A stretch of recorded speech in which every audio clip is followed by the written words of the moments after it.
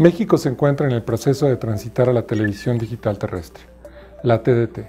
Este año es crucial para nuestro país, pues se ha determinado que para el 31 de diciembre del 2015 llevemos a cabo la transición a la TDT y apaguemos la televisión analógica, el llamado apagón analógico, que es parte de la reforma de telecomunicaciones. La TDT ofrece múltiples beneficios al público.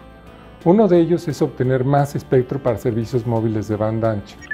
Podemos despejar el espectro de los canales 52 al 69 de televisión y ahora destinarlo a servicios móviles de banda ancha, Internet móvil. También podemos impulsar la competencia en la televisión abierta. Algo que se buscó por tanto tiempo es ahora posible, pues con la TDT podemos asignar canales donde antes no era posible hacerlo. Pero el público puede verse más beneficiado también con las transmisiones de la TDT, pues ello nos puede ofrecer televisión en alta definición de manera gratuita. Finalmente, con la TDT gratuita, abierta, podemos elevar la oferta de programación mediante la multiprogramación. En esta ocasión hablaremos de lo que es la multiprogramación.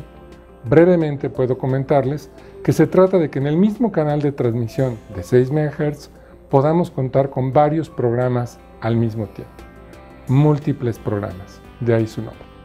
Por ejemplo, si tenemos el canal 30 de transmisión, esto puede subdividirse en varios programas simultáneos que pueden ser sintonizados mediante el canal 30.1, 30.2 o 30.4.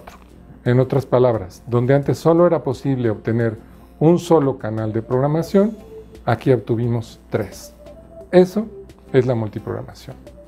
Ahora bien, ¿qué necesitamos para poder sintonizar esta nueva oferta de programación? En primer lugar, requerimos de una antena.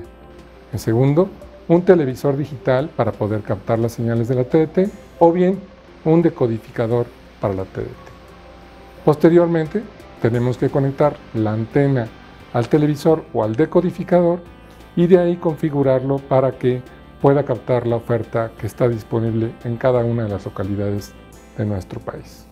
Finalmente, con el control, sintonizamos, por ejemplo, con el 30.4, la oferta de multiprogramación que queremos ver. En el Instituto Federal de Telecomunicaciones somos responsables de definir las reglas para autorizar la multiprogramación, así como la calidad con la que ésta es prestada al público. Ello en un entorno que impulse la competencia, la diversidad de contenidos y con ello poder contar con un mejor servicio de televisión gratuita en beneficio de nuestro país.